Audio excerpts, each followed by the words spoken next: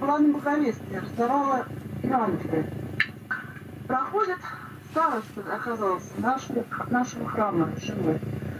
Ну, там такой довольный, поблагодарил меня, молодцы, вы православные, конечно, это только из храма вышло. А вы что стоите, по благословению или как? Я говорю, нет. Батюшка вас благословлял? Я говорю, нет. А я почему? Я говорю, не Господь, я Господа прошу благословения. Прямое благословение идет по Евангелию. Господь сказал, Христос, что идите, проповедуйте по всему миру Евангелие, все клали. Кто будет веровать, креститься, спасен будет, кто не будет веровать, осужден будет. Ну, он так заулыбался, я говорю, ну это правильно, правильно, но все равно нужно иметь благословение батюшки. И вот я хочу вас спросить, это обязательно благословение надо от батюшки иметь или не обязательно? Я ему еще сказала, говорю, вот, пожалуйста, посмотрите, говорю, написано благословение Кирилла на Евангелие. Он посмотрел, все равно надо иметь, может, вы у вас появится гордость, или вы куда-то уйдете, я говорю, куда я могу идти, я говорю, радость станет. Какая может быть гордость, какая радость, каждый возьмет Евангелие, я радость станет. Благодарю Господа Богу, Господи, слава тебе. Человек Евангелие, особенно когда молодежь берет, я прям довольна вообще. Что-то у вас плохо, шум такой слышит, ничего не понятно. Вот э, я спрошу сейчас, Валентина Хапилина, поняли, что она сказала? Переведи мне. Шум я ничего не поняла. Я про так это немножко, что э, она начала проповедовать, а у нее просят, спрашивают, благословение она получила от батюшки или нет. Но это не надо благословения никакого, это повеление Божие. Идите по всему миру. Они хищатся властью, которой у них нету. Ты никого не спрашивай, иди день и ночь проповедуй. Хорошо, Игнатий Ильич, я так ему объяснила, а он мне все равно, вот, придете в субботу в храм, и подойдете, я вас подведу к батюшке, чтобы он вам дал благословение. Ну, прове- проверить надо только, что правильно ли вы говорите, чтобы вы прошли курсы. И потом поставьте фотографию сюда большую, нормальную, вот в платке, как Валентина. А то далеко, дерево, там вообще никого не видать.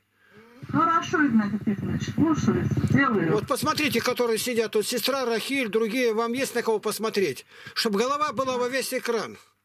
И, и лицом сюда. Да, Хорошо. никого не спрашивайте. Господь сказал, читайте Деяния апостолов, 8 глава, 4 стих.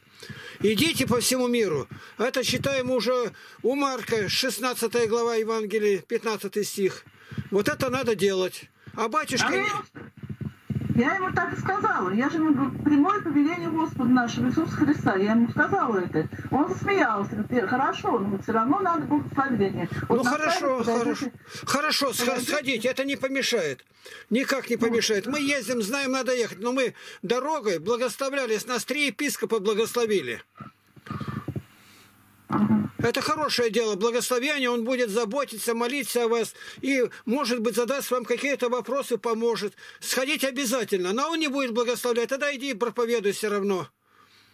Ну, вы знаете, Иван Тихонович, он еще как так сказал, то, что э, хорошо бы вам с ним подружиться, с этим батюшкой. Ну, пускай на меня выходит, я приму его здесь. Дайте ему вот здесь в скайпе, пусть выйдет на меня. Хорошо, я ему дам визиточку, чтобы Все, вышел на вас. Нет, хорошо, все, благодарю. слава Христу. Спаси, спаси Христос. Да. Так, кто еще есть? Нету, я ухожу тогда. У меня нет, Игнатий Тихонович, не уходите. У меня такой вопрос. Вчера меня слышно, во-первых? Да, я слышу хорошо, Галина. Ага. Вот вопрос такой. Вчера мы на занятиях рассуждали, и у меня вот эта мысль второй день, как говорится, колотится в голове. Мы рассуждали о том, что вот брат Игорь нам сказал, что страх Божий побуждает нас помышлять о Боге.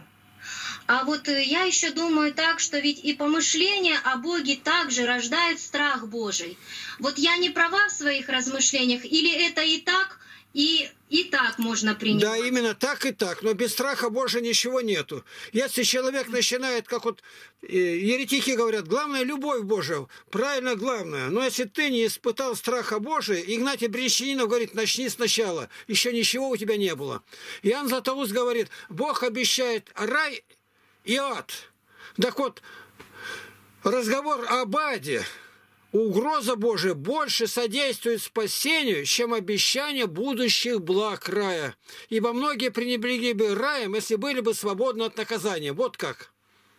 Мгм. Начало мудрости страх Господень. Притча Соломона, 1 глава, 7 стих. Понятно. Спаси Христос. Слава Христу. Еще? Нет никого? Ухожу. Это мы тол- толкование читали. Я не сам сказал, это из толкования. То есть одна часть была просто сказана. Хорошо. Хорошо. Понятно, Игорь. Спаси Христос. Нормально. Это тебя. ни- ни- никак не противоречит ничему, что брат сказал и что сестра сказала. Так, вопросов нет больше? Отошел.